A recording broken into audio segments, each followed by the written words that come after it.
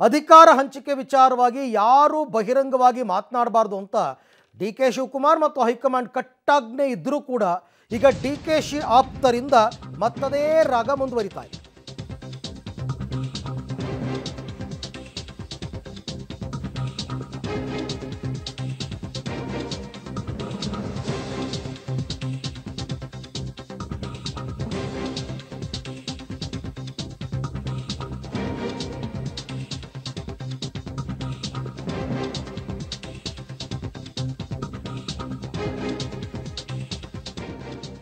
ಕಾಂಗ್ರೆಸ್ನಲ್ಲಿ ಜೋರಾಗ್ತಾ ಇದೆ ಗದ್ದುಗೆ ಫೈಟ್. ಹೈಕಮಾಂಡ್ ಕಟ್ಟಪ್ಪಣೆಯ ಬಳಿಕವೂ ಕೂಡ ಡಿ ಕೆ ಶಿ ಆಪ್ತರಿಂದ ಮತ್ತದೇ ರಾಗ. ಸಿದ್ದರಾಮಯ್ಯ ನಂತರ ಡಿ ಕೆ ಶಿವಕುಮಾರ್ ಅವರೇ ಸಿಎಂ ಆಗಬೇಕು. ಡಿ ಕೆ ಶಿವಕುಮಾರ್ ಕಷ್ಟಪಟ್ಟು ಪಕ್ಷವನ್ನು ಅಧಿಕಾರಕ್ಕೆ ತಂದಿದ್ದಾರೆ. ಹೀಗಾಗಿ ಡಿ ಕೆ ಶಿಗೆ ಸಿಎಂ ಆಗುವ ಅವಕಾಶ ಸಿಗಬೇಕು ಅಂತ ಮದ್ದೂರಿನ ಶಾಸಕ ಕದಲ್ಲೂರು ಉದಯ್ ಗೌಡ ಹೇಳಿಕೆ ಕೊಟ್ಟಿದ್ದಾರೆ. ಇವತ್ತು ಕೂಡ ಡಿ ಕೆ ಶಿವಕುಮಾರ್ ಹೇಳಿದ್ರು, ನೋಟಿಸ್ ಕೊಟ್ಬಿಡ್ತೀವಿ. ಯಾರ್ಯಾರು ಮಾತನಾಡ್ತಾ ಇದ್ದಾರೆ ಇನ್ಮೇಲೆ ನೋಟಿಸ್ಸೇ ಅಂದರು. ಕೊಡಿ ಇವ್ರಿಗೂ.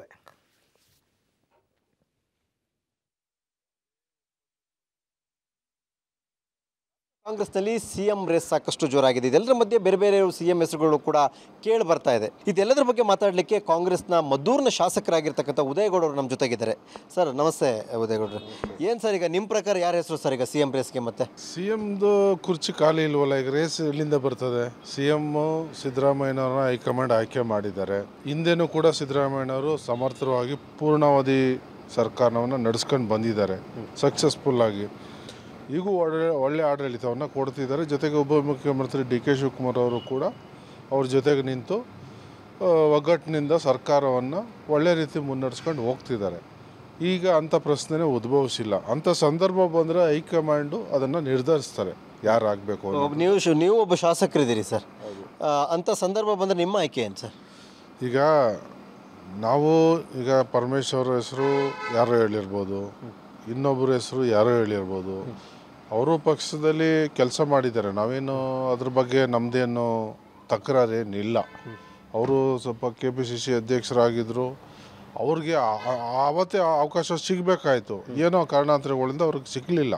ಸೊ ಬಟ್ ಇವತ್ತಿನ ಪರಿಸ್ಥಿತಿಗೆ ಏನಂದರೆ, ಇವತ್ತು ಡಿ ಕೆ ಶಿವಕುಮಾರ್ ಅವರು ಪಕ್ಷ ತುಂಬ ಹಿನ್ನಡೆ ಇದ್ದಂಥ ಸಂದರ್ಭದಲ್ಲಿ ಅವರು ಅಧಿಕಾರವನ್ನು ವಹಿಸ್ಕೊಂಡು ಹೈಕಮಾಂಡ್ ಅವರಿಗೆ ಜವಾಬ್ದಾರಿಯನ್ನು ಕೊಟ್ಟ ನಂತರ ಭಾಳಷ್ಟು ಕಾಳಜಿಯನ್ನು ವಹಿಸಿ ಭಾಳಷ್ಟು ಶ್ರಮಪಟ್ಟು ರಾಜ್ಯವನ್ನು ಸುತ್ತಿ ಈಗ ಒಂದು ಪಕ್ಷ ಅಧಿಕಾರ ತರುವಲ್ಲಿ ಅವ್ರದ್ದು ಭಾಳ ಪಾತ್ರ ಅವ್ರದ್ದು ಇದೆ. ಸೊ ಹಾಗಾಗಿ ಅವರು ಇವತ್ತಿನ ಆಯ್ಕೆಯಲ್ಲಿ ಸಿದ್ದರಾಮಯ್ಯನಂದ್ರೆ ಅವರೇ ಆಗ್ತಾರೆ ಅನ್ನೋದು ನಮ್ಮ ಒಂದು ಅಭಿಲಾಷೆ ಅವರೇ ಆಗಬೇಕು ಅಂತ ಆಗಬೇಕು ಅನ್ನೋದು ನಮ್ಮ ಇಚ್ಛೆ. ಅವ್ರು ಆಗ್ಬೇಕಂತ ಹೌದು ಈಗ ಯಾಕೆ ಸರ್ ಈಗ ನಿನ್ನೆ ಸಿದ್ದರಾಮಯ್ಯ ಹೇಳ್ತಾರೆ ಐದು ವರ್ಷ ನಾನೇ ಮುಖ್ಯಮಂತ್ರಿ ಆಗಿರ್ತೀನಿ ಮುಂದುವರಿತೀನಿ ಅನ್ನೋ ಮಾತು ಹೇಳ್ತಾರೆ. ಕೆಲವರು ಇಲ್ಲ ಎರಡು ವರ್ಷದ ಒಪ್ಪಂದ ಆಗಿದೆ ಅಂತಾರೆ. ಯಾಕೆ ಹೇಳಿದಾಗ ಸಿದ್ದರಾಮಯ್ಯ ಈಗ ನೋಡಿ ಯಾವುದೇ ಒಪ್ಪಂದದ ಬಗ್ಗೆನೋ ಇನ್ನೊಂದು ವಿಚಾರನೋ ಇನ್ನೊಂದು ನಾವು ಇಲ್ಲಿ ಮಾತಾಡುವಂಥದ್ದಲ್ಲ. ಇಲ್ಲಿ ನಮ್ಮಲ್ಲಿ ಕಾಂಗ್ರೆಸ್ ಪಕ್ಷದಲ್ಲಿ ಹಿಂದಿನಿಂದ ಹೈಕಮಾಂಡ್ ಅನ್ನೋದಿದೆ. ಏನೇ ನಿರ್ಧಾರ ಆಗಬೇಕಾದ್ರೂ ಕೂಡ ಹೈಕಮಾಂಡ್ ನಿರ್ಧಾರ ಪಡೋದು ನಿರ್ಧರಿಸುತ್ತೆ. ಒಂದು ಸಣ್ಣ ಒಂದು ಎಂ ಎಲ್ ಎ ಟಿಕೆಟನ್ನು ನಿರ್ಧರಿಸೋದು ಎಂ ಎಲ್ ಸಿ ಟಿಕೆಟ್ ನಿರ್ಧರಿಸೋದು ಹೈಕಮಾಂಡ್ ಡೆಲ್ಲಿಯಲ್ಲಿ. ಸೊ ಹಂಗಿರುವಾಗ ಈ ಮಾತುಗಳಿಗೇನು ಅಂತ ಇದು ಬರಲ್ಲ. ಯಾರೋ ಒಂದು ಸ್ಟೇಟ್ಮೆಂಟ್ ನೀವು ಪತ್ರಕರ್ತರು ಕೇಳಿದಾಗ ಏನೋ ಒಂದು ಹೇಳ್ತೀರಿ. ಸರ್ ಹಾಗಾದ್ರೆ ಒಂದು ಪ್ರಶ್ನೆ ಸರ್ ನಂದೀಗ. ಸಿದ್ದರಾಮಯ್ಯವ್ರಿಗೆ ಇದ್ದಾರೆ ಕುರ್ಚಿ ಖಾಲಿ ಇಲ್ಲ ಆದರೂ ಕೂಡ ಅವ್ರು ಸಿ ಎಂ ಆಗ್ಬೋಯಿತು ಇವ್ರು ಸಿ ಎಂ ಆಗ್ಬೋಯಿತು ದಲಿತ ಸಿ ಎಂ ವಿಚಾರ ಪರಮೇಶ್ವರ್ ಆಗಬೇಕಿತ್ತು. ಯಾಕೆ ಇವೆಲ್ಲ ಯಾಕೆಂದರೆ ಡಿ ಕೆ ಶಿವಕುಮಾರ್ ಅವ್ರನ್ನ ಪಿಚ್ಚಿಂದನೇ ಔಟ್ ಮಾಡುವಂಥ ಪ್ರಯತ್ನನೇ ಏನು? ಯಾ ಯಾರ್ಯಾರ್ದು ಮನಸ್ಥಿತಿ ಏನಿದೆಯೋ ನನಗೆ ಗೊತ್ತಿಲ್ಲ. ನಾವು ಇರೋ ವಿಚಾರನ ಮಾತಾಡಬೇಕು. ಹಿಂದೆ ಅವಕಾಶಗಳು ಇತ್ತು. ಖರ್ಗೆ ಸಾಹೇಬ್ರಿಗೂ ಅವಕಾಶ ಇತ್ತು. ಅಂಥ ಟೈಮಲ್ಲಿ ಗೊತ್ತಿಲ್ಲ ಹೈಕಮಾಂಡು ಏನು ನಿರ್ಧಾರ ಮಾಡ್ತು ಅದ್ರ ಪ್ರಕಾರ ನಡ್ಕೊಂಡು ಬಂದಿದೆ.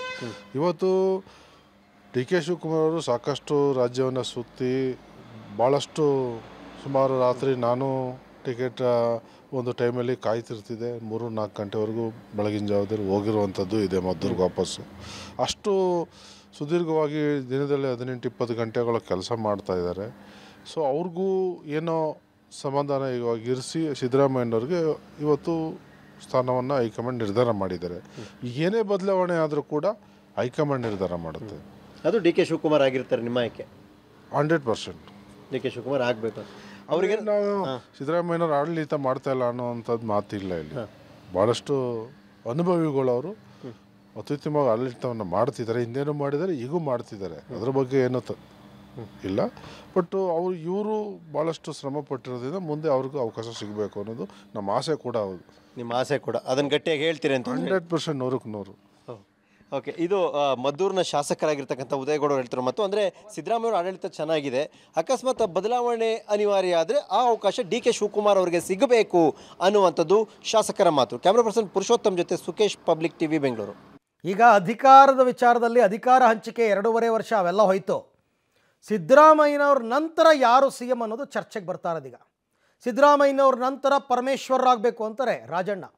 ಸಿದ್ದರಾಮಯ್ಯನವ್ರ ನಂತರ ಡಿ ಶಿ, ಡಿ ಕೆ ಶಿನೇ ಆಗಬೇಕು ಅಂತ ಕೆಲವರು ಚರ್ಚೆ ಇವಾಗ ಆ ಹಂತಕ್ಕೆ ಬಂದು ನಿಂತಿದೆ. ಸಿದ್ದರಾಮಯ್ಯನವ್ರ ನಂತರ ಯಾರು?